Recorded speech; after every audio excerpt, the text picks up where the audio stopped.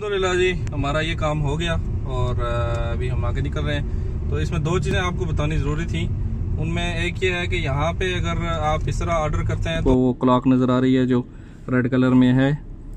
ये हमने यहाँ से राइट लेके अंदर जाना है और सामने आपको जो नज़र आ रहा है बिल्डिंग्स ये सब दफना की बिल्डिंग्स हैं। बिस्मिल्लाहिर्रहमानिर्रहीम सुबहानल्लाजी ये तो आज हम अपना सफ़र यहाँ से शुरू करते हैं। और सबसे पहले आपको मैं अपने चैनल पे वेलकम करता हूँ। अगर आप नए आए हैं तो चैनल सब्सक्राइब करें वीडियो को लाइक करें और शेयर करें अपने दोस्तों के साथ। तो आज, दो तीन काम हैं जो ज़रूरी हैं, वो करेंगे। फ़र्स्ट ऑफ़ ऑल जो है वो तो हम जा रहे हैं। एक जगह पे हमने डिलीवर करने हैं पेपर्स जिन वाला पेपर डिलीवर करेंगे। उसके बाद फिर आज जो चीज़ ज़रूरी है, वो आपको दिखानी है कि यहाँ पे क्यू पोस्ट जो यहाँ पे डाक का सिस्टम है वो कैसे होता है, कैसे चलता है तो उस सिलसिले में वहाँ पे जाना है। वहाँ पे मैंने चाइना से एक ऑर्डर किया हुआ था अली एक्सप्रेस से। वो आया हुआ है, उसका मैसेज आया था मुझे। वो रिसीव करना है। उसके अलावा फिर हमने जाना है जी खयात के पास टेलर के पास जाना है, जो पाकिस्तानी कपड़े सिलते हैं। क्योंकि आगे कुछ दिनों में मेरा छुट्टी जाने का इरादा है, ईद तक इन तो वहाँ पे जाएँगे। वो भी जो है, कपड़े भी सिलवाएँगे। देखते हैं कपड़े का क्या रेट है, सिलाई का क्या रेट है, वो भी एक आइडिया हो जाएगा आपको। तो इसीलिए कहता हूँ चैनल को सब्सक्राइब करें ताकि आपको हर चीज़ का आइडिया हो सके कतर के हवाले से। यहाँ का रहन सहन कैसा है, यहाँ पे कैसे इंतज़ाम चलता है। तो वीडियो को लंबा नहीं करेंगे, ऐसे ही बातों में लंबा हो जाता है वीडियो बहुत। तो यहाँ से आपको टाइम लैप्स दिखाते हैं, उसके बाद फिर आके दिखाएँगे।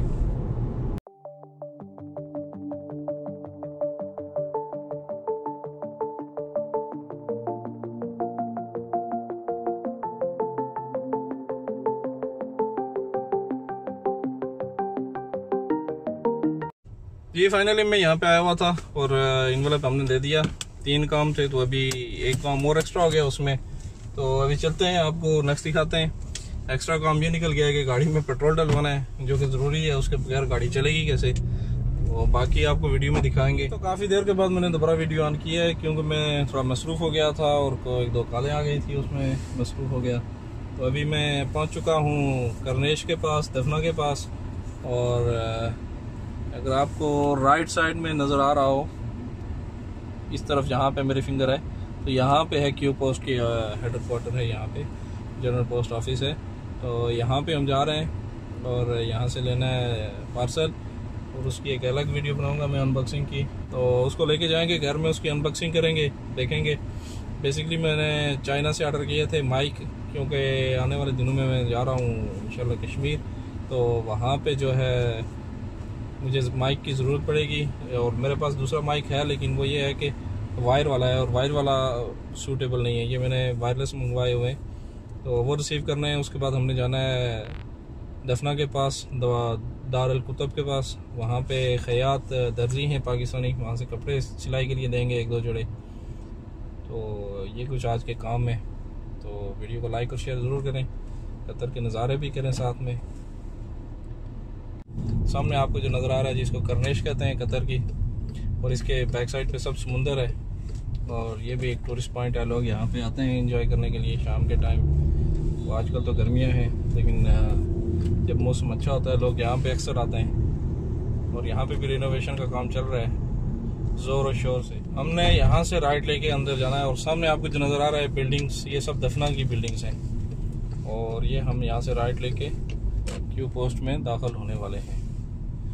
यहाँ पे मेरे ख्याल में पार्किंग नहीं मिलेगी। हमने वहाँ पे पार्किंग करनी है। आइए आज इसकी पार्किंग भी देखिए अब जो गाड़ी जा रही है, हमने उसके पीछे जाना है।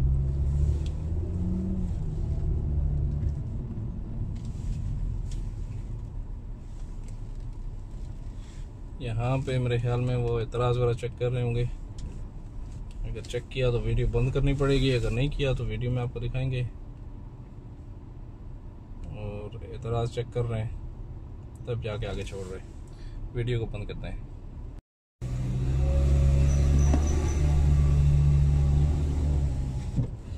ये तो हमने यहाँ से टिकट ले लिया और ये पार्किंग आप देखें। अभी ये तीसरी मंजिल पे मैं चढ़ गया हूँ। और यहाँ पे हमने गाड़ी को कहीं लगाना है पार्किंग में। उसके बाद ऑफ़िस में जाएँगे। वहाँ से हमने लेना है अपना पार्सल। फिर आगे की तरफ़ निकल जाना है।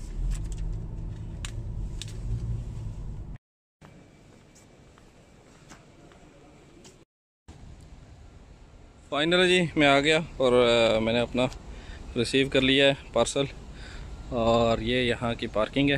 पार्किंग आप देख लें, अंदर का एक छोटा सा आपको स्क्रिप दिखाया है क्योंकि अंदर वीडियो अलाउ नहीं है और बाहर से बिल्डिंग आप देख लें, माशाल्लाह, खूबसूरत बिल्डिंग बनाई है। ये चलते हैं आगे दूसरे काम के लिए। ये जी पार्किंग का टिकट यहाँ पे हमने लिया था, उसकी यहाँ पे पेमेंट करनी है, उसके बाद निकलेंगे आगे। अलहमदिल्ला जी, हमारा ये काम हो गया और अभी हम आगे निकल रहे हैं। तो इसमें दो चीज़ें आपको बतानी ज़रूरी थी।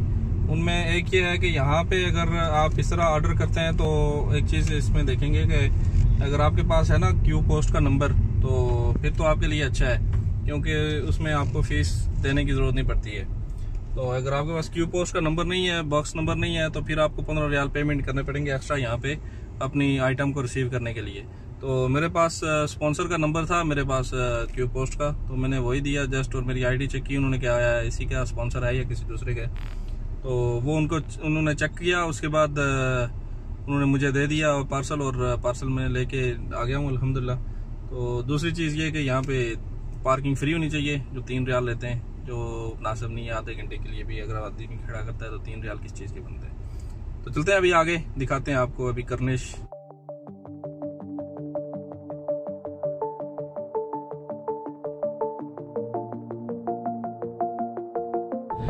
अच्छा जी, ये जो जगह आपको नज़र आ रही है, यहाँ पे नेशनल डे के जो तकरीब होती हैं, यहाँ पे अमीर यहाँ पे बैठते हैं, उनके वालद बैठते हैं और बाकी वज़रा यहाँ पे बैठते हैं और यहाँ से जो सड़क नज़र आ रही है आपको, इस पे प्रोग्राम होते हैं। और इस तरफ़ आपको जो नज़र आ रहा है, ये समुंदर है और यहाँ पे ये करनेश में इस वक्त मैं जा रहा हूँ, करनेश वाली सड़क से। तो यहाँ पे एक बिल्डिंग आपको नज़र आएगी, ये अभी इसको दोबारा रिनोवेट किया जा रहा है और ये वजारतुल खारजिया की बिल्डिंग थी पहले से।